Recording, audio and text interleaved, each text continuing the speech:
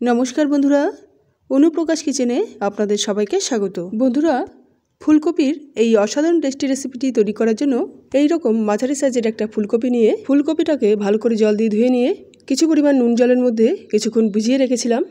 আমি এখন এই ফুলকপিটাকে মাঝখান থেকে দুভাগ করে নেব। দেখুন, ফুলকপিটাকে মাঝখান থেকে দুভাগ করে নিয়েছি। আমি এখন একটা কড়াইতে বেশ কিছুটা পরিমাণ জল নিয়ে তার মধ্যে এক চামচ নুন দিয়ে জলের সঙ্গে ভালো করে মিক্স করে নিলাম।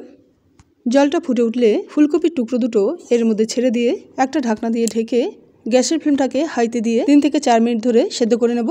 তিন থেকে চার মিনিট পর আমি ঢাকনাটা খুলে এই ফুলকপির টুকরো দুটোকে উল্টে দিয়ে আবারও ঢাকনা বন্ধ করে তিন থেকে চার মিনিট ধরে সেদ্ধ করে নেব।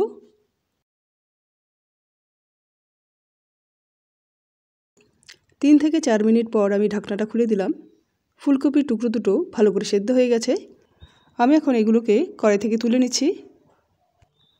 এবার ফুলকপি সেদ্ধ করা জলটা ফেলে দিয়ে ওই কড়াইতে আমি এক চামচ সাদা তেল দিয়ে দিলাম।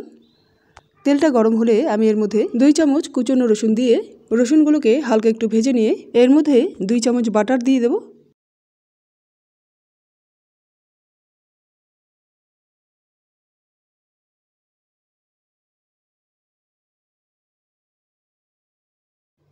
বাটারটা গলে গেলে আমি এর মধ্যে দুই চামচ ময়দা দিয়ে দিলাম। এবার এই ময়দা বাটারের সঙ্গে ভালো করে মিক্স করে নিয়ে ভালো করে ভেজে নেব। যতক্ষণ পর্যন্ত ময়দা ও বাটারের মিশ্রণ থেকে এই রকম ফেনা ফেনা না উঠছে এই রকম ফেনা ফেনা উঠলেই বুঝবেন যে ময়দাটা আপনার ভালো করে ভাজা হয়ে গেছে। এই অবস্থায় আমি এর মধ্যে এক কাপ দুধ ঢেলে দিয়ে ময়দার মিশ্রণের সঙ্গে ভালো করে মিক্স করে নেব।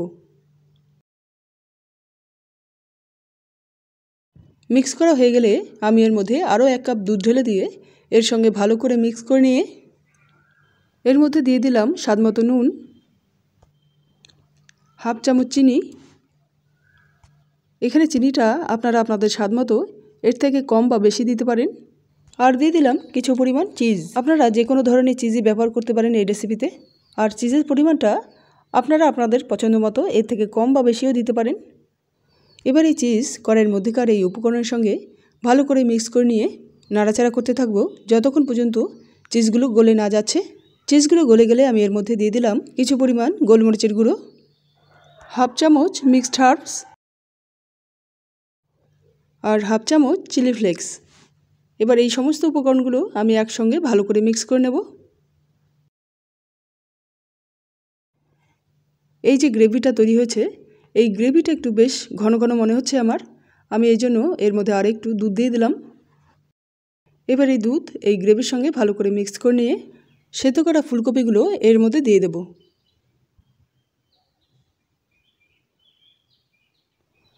এবার এই গ্রেভি ফুলকপির ওপরে এইভাবে দিয়ে দেব।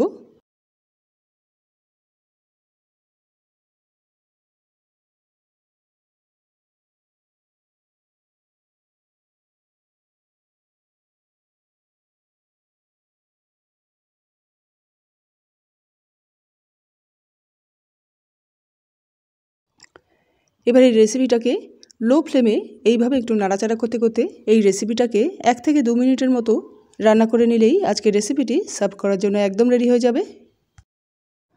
বন্ধুরা, ফুলকপি দিয়ে এই রেসিপিটি একবার বাড়িতে ট্রাই করে দেখবেন। অসাধারণ টেস্টি হয় এই রেসিপিটি আপনাদের যদি এই রেসিপিটি ভালো লেগে থাকে, তাহলে প্লিজ এই রেসিপিটিকে লাইক শেয়ার ও কমেন্ট করে দিয়ে আমার এই চ্যানেলটিকে সাবস্ক্রাইব করে দেবেন। তাহলে বন্ধুরা, আজ এই পর্যন্তই। আবার আপনাদের সঙ্গে দেখা হচ্ছে। পরের এক নতুন রেসিপিতে থ্যাংক ইউ